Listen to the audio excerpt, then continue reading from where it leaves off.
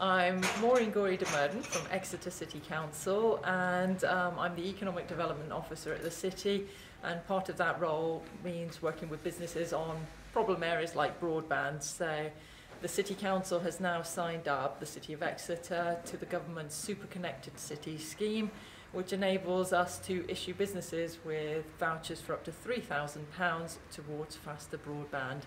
Very important in places like Marsh Barton, where we are today, and other parts of the city that have poor broadband. So we are also working with suppliers across the city to roll out better and faster broadband. So we're at events like the one here today to raise the profile of the voucher scheme so businesses can start speaking to suppliers and applying for vouchers.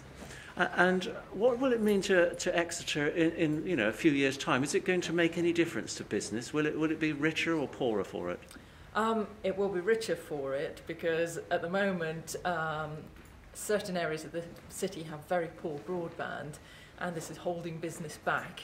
Um, in some cases businesses are even looking to move away because the broadband is so bad. So while the rest of the world marches on with faster broadband, we don't want to be left behind, which is why we put this bid into government for the vouchers to help businesses here right on our patch.